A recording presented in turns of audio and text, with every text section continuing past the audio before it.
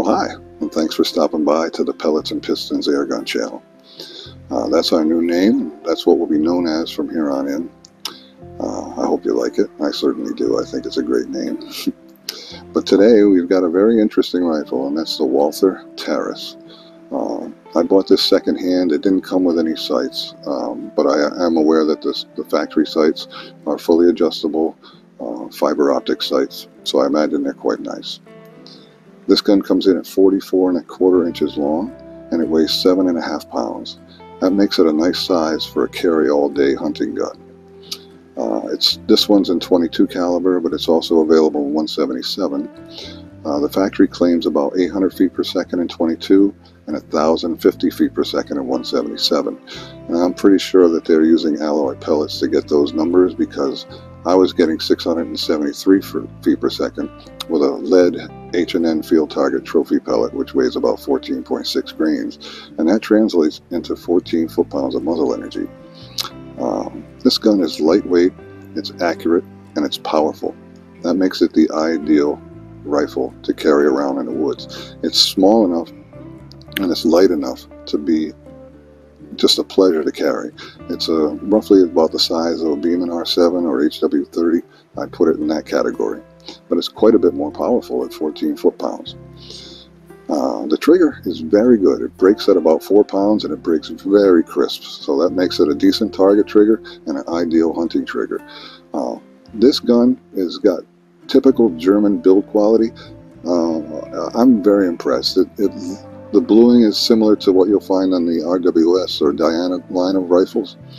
Um, the wooden stock is pretty much lackluster. There's not much going on as far as figure goes. It does have some checkering, which is decent, but not great. Um, but it's all metal. There's not a plastic part on this rifle except for possibly the piston seal, and that's the only thing I can think of that I found that was plastic on this gun, and I did have it out of the stock. All the trigger parts are metal, including the trigger guard the rear cap and the automatic safety, all metal. Um, it's got a threaded muzzle. Now this gun's quiet right out of the box, but with a threaded muzzle you can make it even more quiet if you'd like to, but I don't see any need for that. Right out of the box it's very backyard friendly. Uh, I'd highly recommend this gun. Comes in uh, right around $200, sometimes a little less. With the synthetic stock, I believe, it's a little more affordable but uh, I'd highly recommend it. It's just a sweetheart of a rifle. So we're going to take a couple of shots. I won't put it to my shoulder for the first couple of shots. That way you can see the recoil. Uh, I just I wish you could handle the gun and get a real feel for it because I think you'd be impressed. I know I was. So we'll take a couple of shots. The first thing you'll notice is that it's silent when you cock it. And listen to that sear engage. Factory says cocking effort's around 32 pounds, I think it is. I think it's a little less than that, actually. It feels very easy to cock. So keep your ears open and take a look at the, the butt of the stock. You'll see the recoil. And that'll give you an idea how smooth of a shooting rifle it is and what a joy it is to pull a trigger on this gun. Isn't that nice? Really impressive. What a sweetheart of a rifle. Again, silent cocking. Something else I should mention is that when you close the action on this gun, it's almost effortless. The locking lugs in here, they just made up so sweet. One finger, it's closed. What a sweetheart of a rifle. I can't I can't stop saying that. Another shot down into the ground, watch your recoil, listen to that rifle. Oh, very impressed. So let's celebrate this gun by ringing the bell. Now that target is 60 yards away. And what it is is a 14 inch concrete cutting demolition blade from a demolition saw. So it's pretty hard to miss.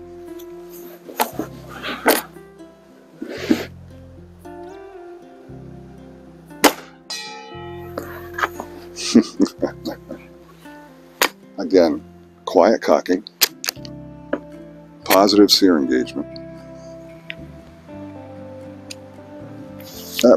effortless closing,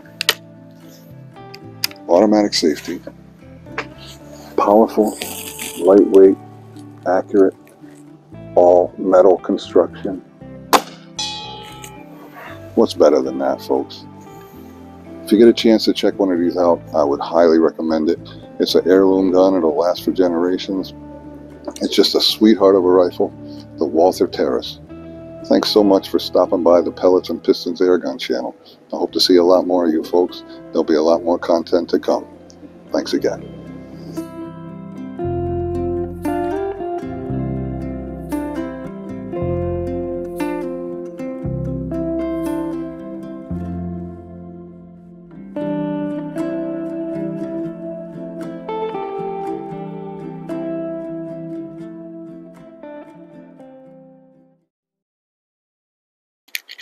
That bell's about 60 yards away. And it's a big metal disc. It used to be a concrete cutting blade for a 14 inch demolition saw. So it's pretty hard to miss.